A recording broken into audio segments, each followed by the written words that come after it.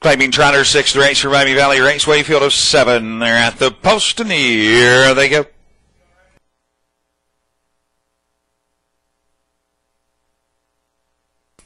They're off and trotting. St. Francis from the outside for Bid Pack comes Quantum Cashman, just as inside Laser Lucy off the rail, extra perfect. They're four wide into the first turn, now three wide as Quantum Cashman will clear to the front. St. Francis is left out there, second extra perfect to the inside third.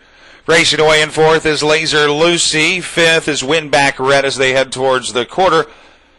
Meadow Branch Ralph is next in sixth, seventh, and last is Commander Richards as they head past the quarter.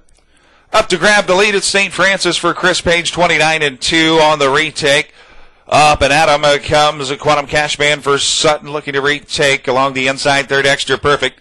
Laser Lucy angled out there from fourth, and that will flush extra perfect out first up from third as Quantum Cashman clears. Third over is Winbak Red. Then it is Meadow Branch Ralph saving ground to the inside. Is Commander Richards onto the half. They'll go. It's still Quantum Cashman, the one to catch. Extra perfect coming to call at the leader's wheel on the outside now. Second, St. Francis drafts along from the pocket spot, 59 and 2. 30 flat for the second split. Laser Lucy outside second over in fourth. It's a gap of about two and a half back to Winbak Red in fifth. He's followed by uh, Meadow Branch Ralph, who's on the move for Holiday in the trailers. Commander Richards.